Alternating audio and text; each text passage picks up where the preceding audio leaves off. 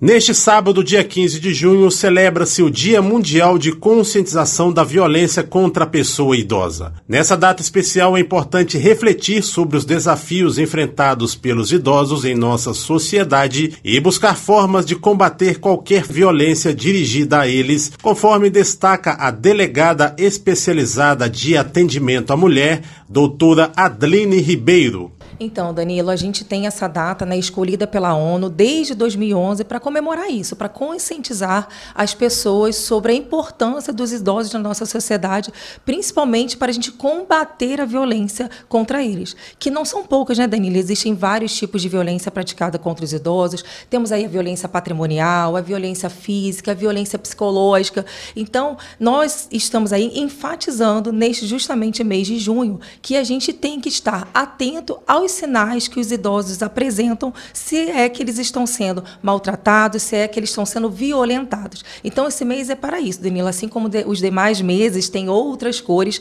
mais uma vez nós estamos aqui para falar do mês do junho violeta. Né? O junho violeta, que é justamente esse mês para a gente enfrentar essa situação de desfavor dos idosos. Doutora, a violência contra a pessoa idosa ela é mais comum do que a gente pensa?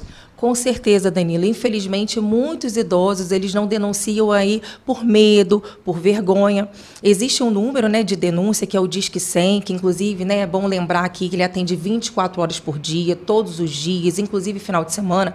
Ele é um número que ele não corresponde à realidade, porque muitos idosos deixam de denunciar, justamente como eu disse no medo, no início, por medo e por vergonha, e acaba que há uma subnotificação.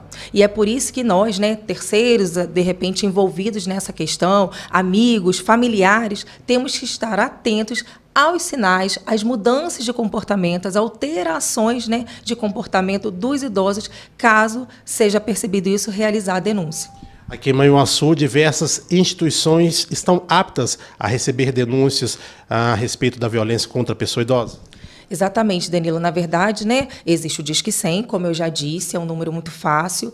E também temos aí a delegacia de polícia, né, de todas as cidades aí aptas a receberem a denúncia em favor dos idosos, assim como em caso de urgência, emergência, a Polícia Militar, através de 190, Defensoria Pública, Ministério Público e toda a rede de proteção que a gente sempre fala, né, Danilo? O CREAS, o CRAS, de suma importância para nós.